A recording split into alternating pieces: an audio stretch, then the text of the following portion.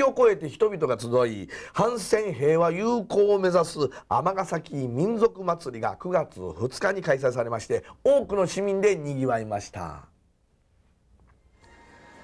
この尼崎民族祭りは毎年夏休み最後の日曜日に開催されておりまして今年で17回目を迎えました。会場には民族色豊かな出店が所狭しと並びましたよ。これ知ってる？知人や。な好きやわなああフランク。もう定番ですよなあ。ね絶対食べるわ。はい。あメキシコは？これ。これ何やろ？タコスかな。あタコス。にあこちらは？インド人もびっくり。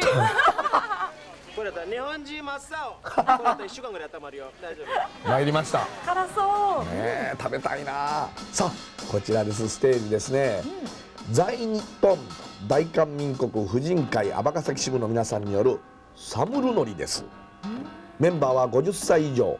楽器はチャンゴケンガリプクチンの4つでしてね。ね週1回の練習で頑張っております。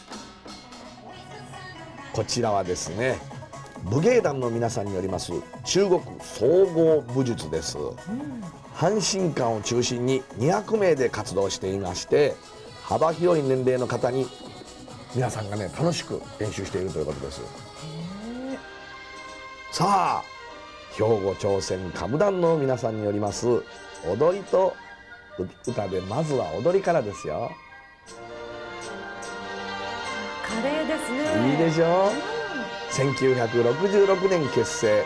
在日朝鮮人文化の向上のために年間150公演を行っているそうです。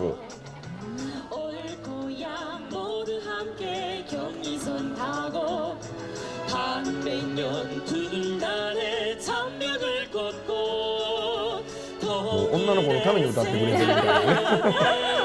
あ来た来た一人増えた。子供たちが寄ってくるやっぱこれええからやで。はい。今年から始まった新たなイベントが民族衣装コンテストでしてね。日もすっかり暮れた頃にはコンテストの結果が発表されました。あこの子や。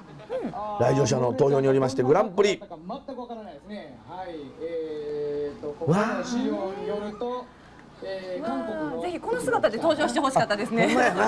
でも見事です表彰行われまして祭りを一層盛り上げていました。いやーいいですよね。もうそれ民族ね踊りそして衣装、それから一番食べるもんもこれも分かち合うなんてね。本当本当それにみんな民族衣装すごく華やかで。ね派手やかでしたね。いや我々もちょっと和服が民族衣装でしょ？そうですね。たまには来てください。参加したらよかったですよね。参加したらいやこれからスタジオで時々また民族衣装ではいやってみたい、登場しましょうか。はい。はい、では続いてです。9月2日、西宮の塩瀬公民館では、8月30日